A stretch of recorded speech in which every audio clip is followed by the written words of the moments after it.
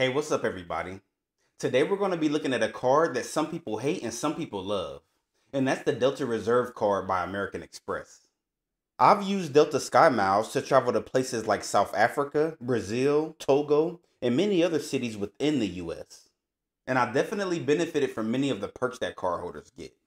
So by reviewing the card today, I hope I can help you decide if it's the card for you or not.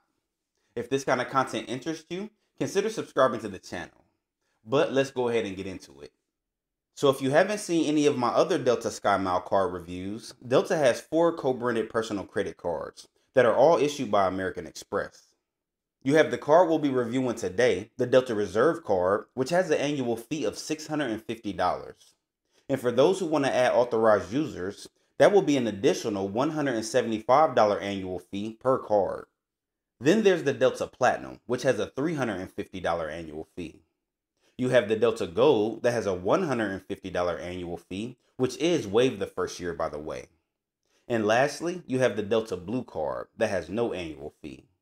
A wide variety of cards with a wide range of different perks and benefits for different types of travelers.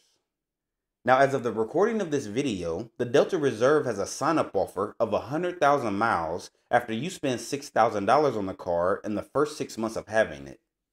The points guy values Delta miles at about 1.2 cents per mile. So this 100,000 mile sign-up bonus would be valued at about $1,200, which is really good.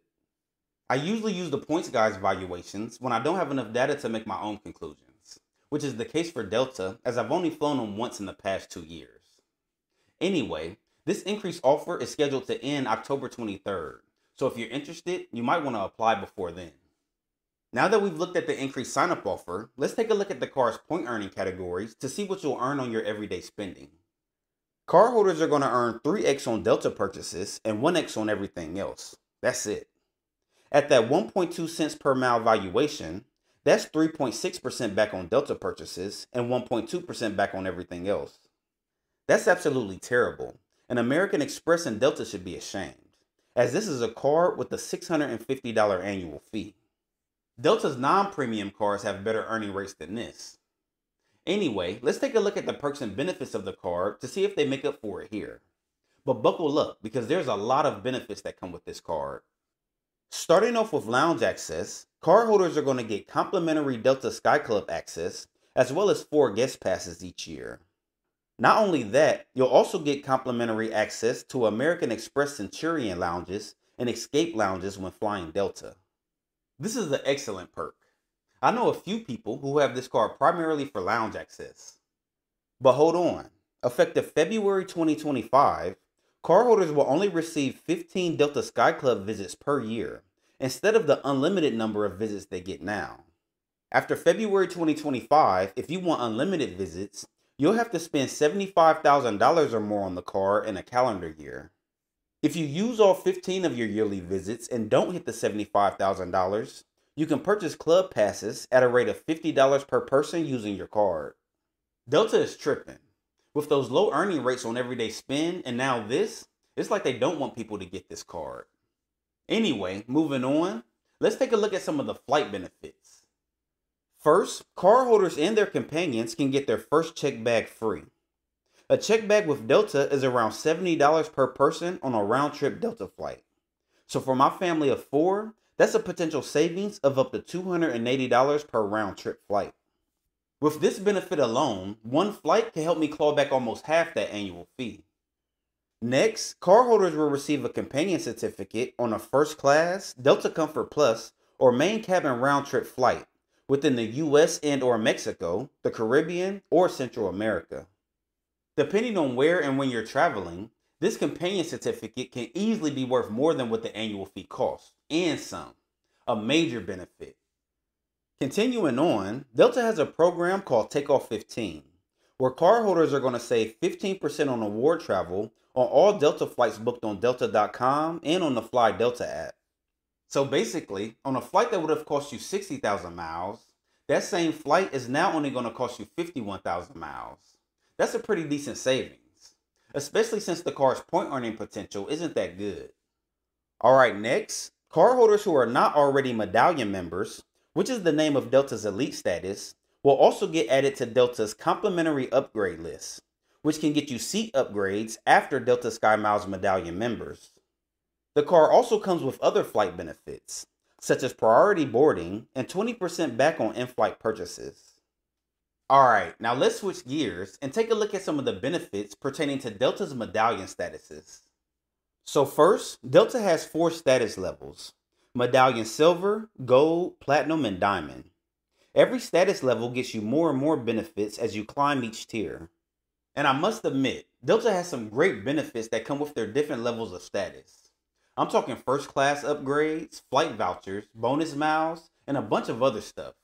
Again, depending on your level of status. Now, to earn medallion status with Delta, you need to earn what they call medallion qualifying dollars, or MQDs. You'll need 5,000 MQDs to earn silver, 10,000 for gold, 15,000 for platinum, and 28,000 for diamond. Normally, regular SkyMile members earn 1 MQD for every dollar you spend with Delta. However, Delta Reserve cardholders also get 1 MQD for every $10 you spend on the car on all purchase, whether with Delta or not. This can help you get status faster for the following medallion year. On top of that, each year, cardholders will also get an MQD head start of 2,500 MQDs every year.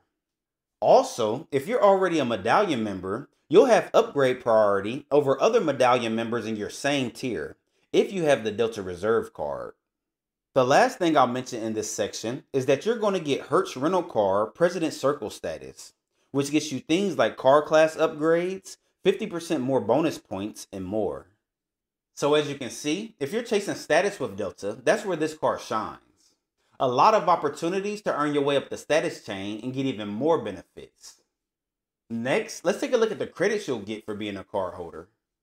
The first one is a global entry TSA pre-check application fee credit, which are both programs that can save you a lot of time going through airport security. Next, you're going to get a $120 rideshare credit, which is broken up into $10 back in statement credits each month on US rideshare purchases. You'll get a $200 Delta Stays credit when you use your Delta Reserve to book prepaid hotels or vacation rentals through the Delta Stays program on Delta.com. And lastly, you'll get a $240 Resy credit, which by the way is a dining reservation service. This is broken up into $20 back in statement credits each month after you pay for purchases with US Resy restaurants. I like the rideshare credit as I'm always using one of those services but I personally don't know anybody who uses Resy. That credit would be a huge waste for me. However, I'm a huge fan of Global Entry and TSA PreCheck, as I'm using at least one of those services on a monthly basis.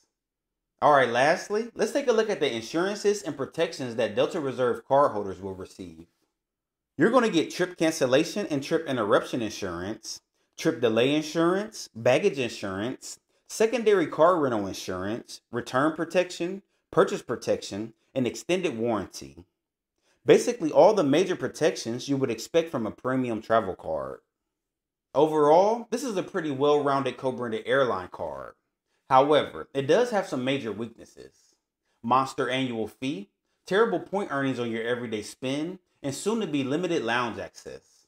However, if you're chasing status, can benefit from the companion pass every year, and in general just fly Delta a lot, then this is for sure a card you should consider. Like I said, back when I flew Delta often, I had this card and greatly benefited from it. You can easily get outsized value. Now, if you don't fly Delta often and aren't chasing status, then the Delta Platinum and Delta Gold cards are really good options. I'll leave my reviews of those cards up on the screen for you. What are your thoughts on the Delta Reserve card, as well as the changes they've been making? Is this a card you would consider if you flew Delta often? I look forward to hearing from you. I'll see you in the next video. Have a good one.